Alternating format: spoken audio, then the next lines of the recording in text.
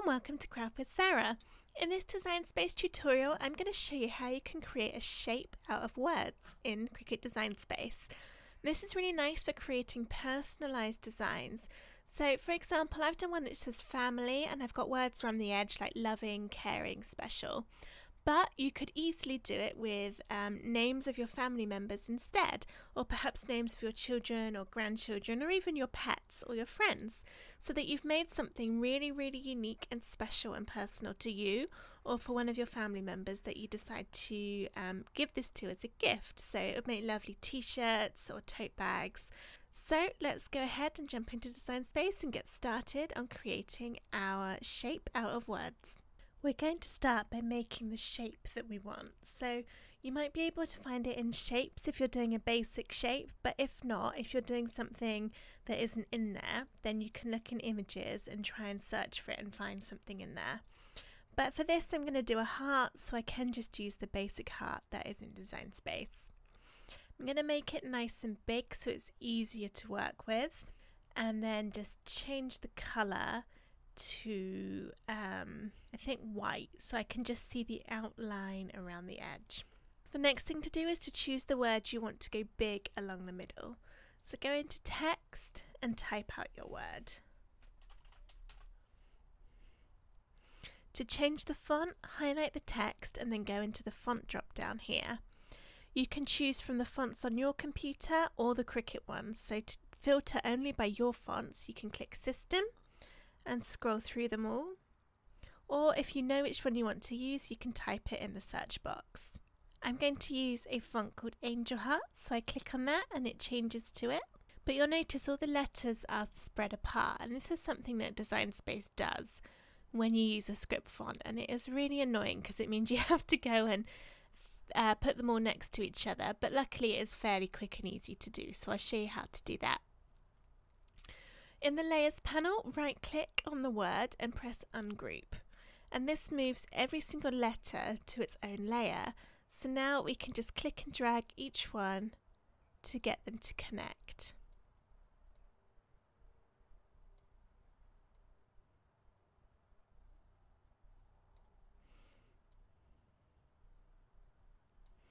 When you're happy with how it's looking, Select all the layers by clicking one and then pressing Ctrl on your keyboard and clicking the other ones in the Layers panel and then press Weld. And now that's joined them all together again as one layer. Sometimes when you weld, you might notice that it fills in some of the holes in your letters. If it does that, a quick way to fix it is to click the undo button on the top left to undo the weld, and then select all your letters and make them really big by using the arrow on the bottom and then when it's really big weld it again and that seems to fix it and then you can make it smaller again after you've welded it and it will keep the text looking how it should. Alright so now I've got my word I can position it in the middle of the heart where I want it to go. So I want to make it quite large and have it going across the middle and then I'm going to put my words around the edge. So I need to start on those words. So I'm going to go back to my text and start typing them in.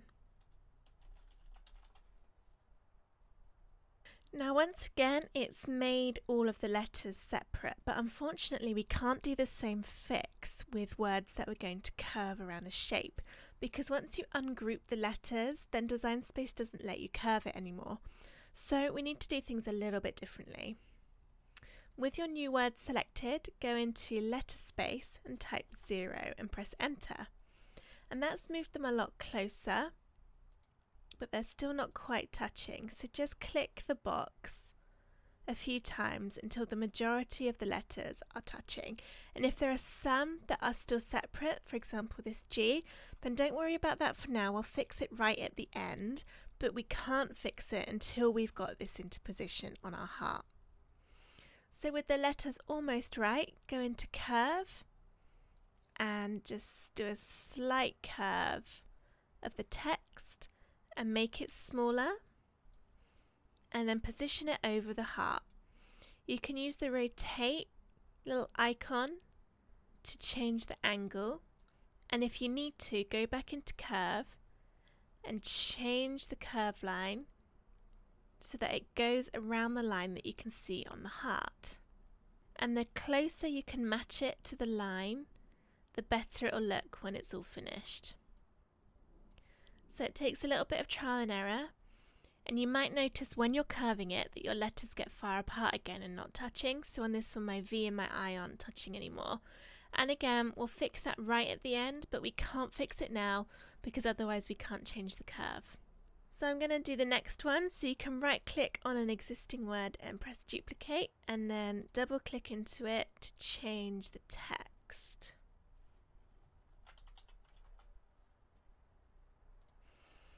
And then this has saved the letter spacing, so they're still fairly close, so that's okay. But I need to change the curve so that it's not quite so obvious. So it will fit on the heart.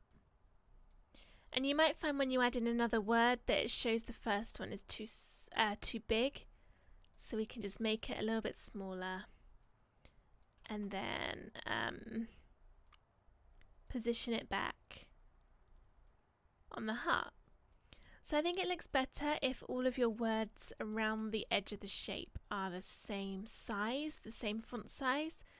So whilst you're going around and fixing things, just make sure that all of your words are selected when you're resizing, apart from the big one in the middle, um, just because that gives you a nicer, more uniform effect overall if they're all the same.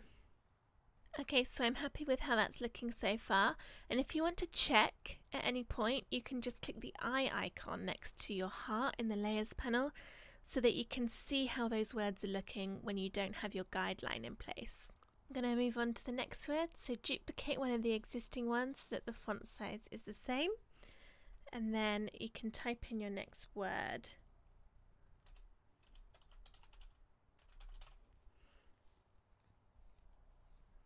My design space is being very slow and laggy today. It's quite annoying. Alright, so this one is nearly alright, as it is actually. Just a little curve change and move the rotation. There we are. So the next one.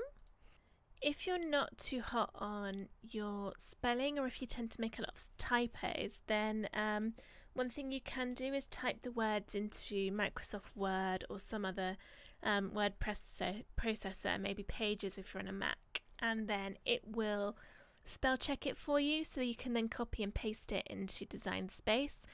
So that is a nice way to make sure that you've got all of your words spelt correctly.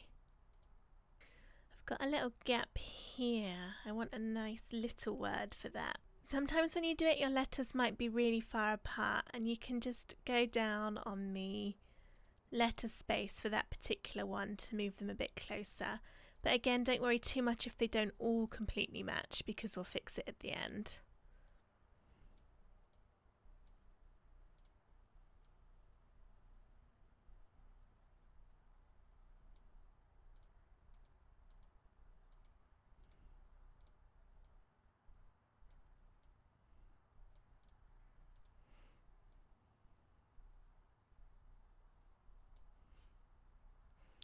Actually going to rotate the word family a little bit. I think that will fit better with how I've done it. There we go. Alright, so that's the top half done and if I hide the outline you can see it is starting to look like a heart. The loyal needs to come in a little bit. But that's starting to look good. So now we can do the bottom half and it's exactly the same again. So duplicate the existing words I'm actually not going to use that one because I changed the letter space. Let's do that one.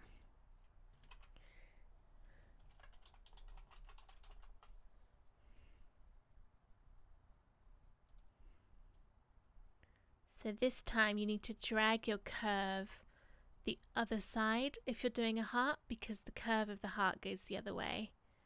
I'm going to use a nice big word to go down the bottom. And then I'll just need one more. Oops, move the hat. one more for the other side. And for this one, because it's not quite going to fit, I will just make it a tiny bit smaller. Alright, so if I hide the heart now, you can see you've got all your words in that heart shape and um, your main text as well. Okay, so I'm happy with that. I'm just going to go ahead and save it um, so that I don't lose any of that work. And now you can go in and um, change any text that isn't quite touching as it should be. And it can be helpful to zoom in so you can see it better. So on this V, on this loving, the V and the I aren't touching and the I and the N. So we're going to do what we did to start with. We're going to ungroup it and then change the letters by clicking and dragging so that they touch how you want them to. Just bear in mind, once you've done this, once you've split them up, you can't change the text anymore. So you can't edit the curve and um, you can't change the wording. So only do this when you're basically happy with how it's all looking. Oh look, that did the welding thing I was telling you about earlier. See, it's filled in that O. So if I just undo that one, make it all really big. Oops. So if I just group all those together, so I've grouped those together, make it really big and press weld again and it's still done it. So if it's still filling in those gaps even when it's really big, just undo it again. And the letters that are causing the problem, so mine it's the L and the O, just move one of them slightly further away and that should fix it. So I'm going to move that L a little bit away from the O um, and now try again.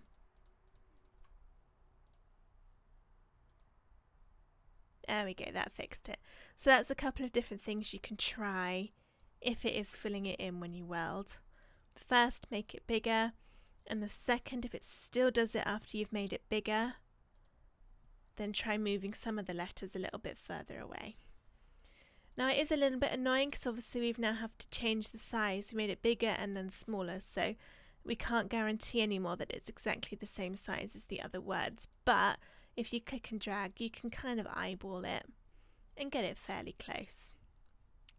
So now I'm just going to go ahead and do the same thing for all the other words and then I'll jump back in and show you how to finish it off.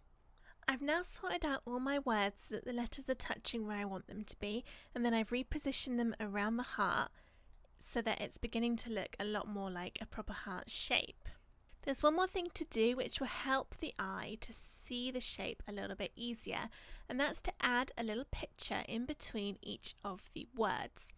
Not only does this help fill in the shape that little bit easier, but it distinguishes where one word ends and the next begins, which again makes it easier to read. So I'm going to go into shapes and choose another heart. I'm going to make it black to match my text colour and then make it quite small. So I'm just going to put a little heart in between the words and rotate it so that it's kind of filling the shape of the heart in its rotation. So this isn't, you know, touching the words, it's just sitting in between them. And I'm going to make sure the heart's always the same size for consistency, which might mean that some of the words have to go down a tiny bit to give you the right amount of space. But once you've started adding these in, you'll see that it really does help your shape kind of come to life and pop off the screen a little bit more. So I've got a couple left to do. Oops. If you move something accidentally, you can just hit the undo button um, and then make sure you've got the right layer selected to move things.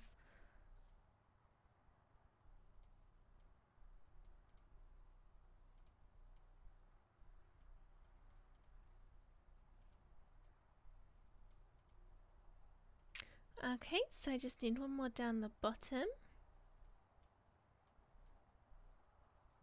I'm actually going to make that one a little bit bigger because it's got quite a big gap down here and it's kind of finishing off the bottom of the heart so it can afford to be bigger than the ones at the top. Just move that around and then there we have it, our finished heart of words. And now it's nearly ready to cut. But if I was to choose make it now, you can see it's put all the words in random shapes. It's actually a little bit hard to see because it's got the black background, but um, it hasn't kept the shape of the heart. And to make it keep the shape, click and drag your mouse around everything to select all the layers and then press the attach button. And now that means when we go to make it, they'll all be the same, but it also means you can click and drag and it will resize the whole thing in proportion. So you can make it the size that you want to cut it, Let's say 8 inches wide. And then if you want to, you can change the colour. And now when you go to make it, you see it's kept it all in the correct positioning so that it's ready for us to go ahead and cut. So I hope you've enjoyed this tutorial on how to make a, um, a shape out of words. If you have, please give this video a thumbs up and subscribe to my YouTube channel for loads more Design Space and Cricut tutorials. Thank you for watching.